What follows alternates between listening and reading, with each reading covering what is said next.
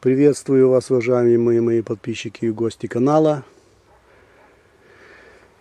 Э, четвертая часть видео ежевики Primark Traveler.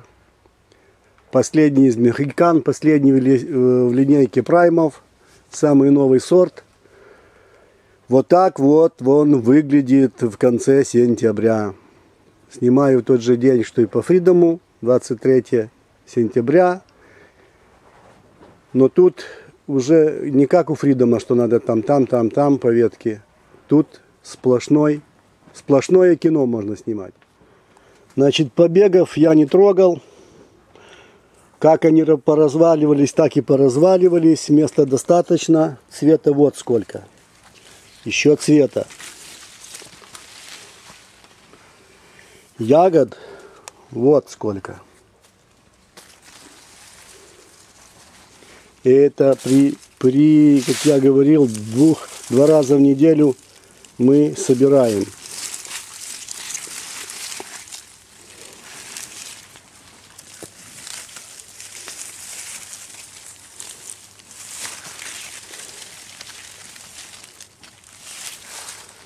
Значит, чем он отличается от Фридома?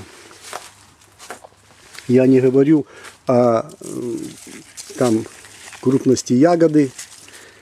Я говорю о том, как ведет себя, как ведут себя латералы с ягодой. Как видите, вот они висят свободно. Фридом уже бы это дело обломил, и все, и уже ягоды бы не было. Тревелер прекрасно, лишь бы где-то его прихватить веточку к шпалере немножко. Вот сколько зеленых ягод, вот еще сколько ему плодоносить. Если, если вы сможете уберечь от первых заморозков. Вот.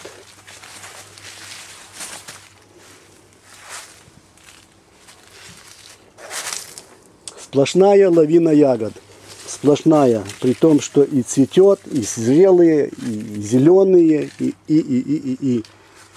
и. Значит, э, древесина, по ходу у травеллера на порядок жестче, чем древесина, хорошее слово, чем у Фридома. Поэтому ягодки, вот даже это, зеленая, вот наливается, на свободно висит. Вот какая огромная ветка. Да тут ее, как она созреет, тут пару килограмм и,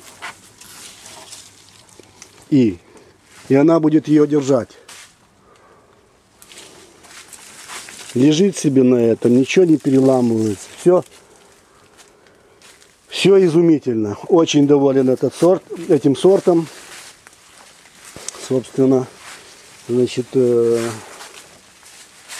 вот сколько зеленых. Ну, покажу вам просто так, потенциал. Все это чисто показываю потенциал, ничего тут рассказывать, показывать нет. Лавина ягод, сами видите, лавина. Если вы занимаетесь ягодой сами, ну, в смысле занимаетесь, занимаетесь-то сами, если вы сами реализуете ягоду, будь то вести ее на Москву, на Фуджи-Сити, будь то на рынке ее реализовать, это сорт незаменимый. Э, при том, что могу, хочу обратить ваше э, внимание на то, что как бы температуры вот резко упала с 30 на 15, а сегодня вообще 8 утром было.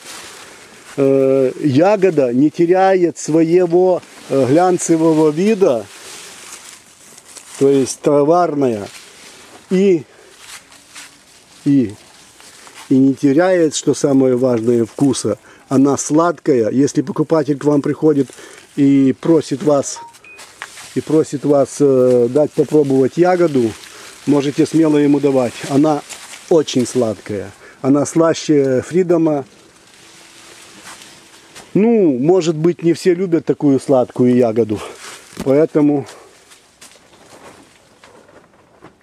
ну, всегда как бы первым критерием оценки ягоды является сладость ее.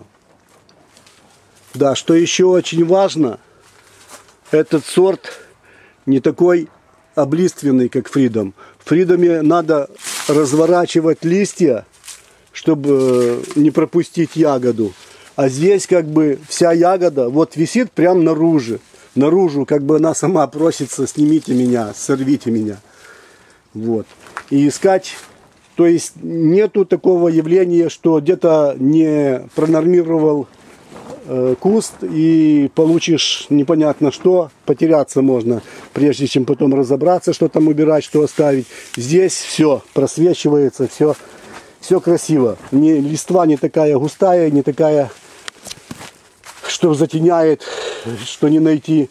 Вот. э, Ну вот как-то так это все выглядит.